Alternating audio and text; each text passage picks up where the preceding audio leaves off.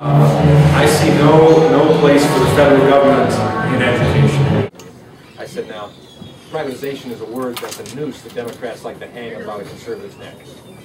But you know what it really means, so I can tell you uh, that I support privatization. Everyone can walk into the emergency room and receive basic health care.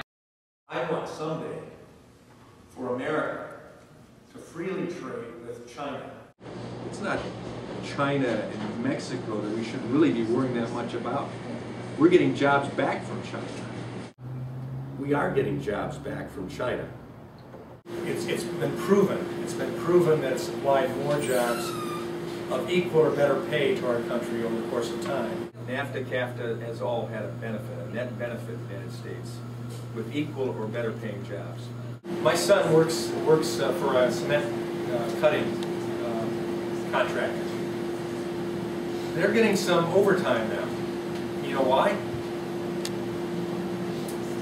Because of stimulus, doing government contracts. The fact of the matter is the executive has uh, an awful lot of power to keep from showing certain things unless the courts will stand up. For it. Or unless Congress, in majority, will stand up, up to including impeachment. Right, that's where it would probably And, come and the. Republicans don't have the majority.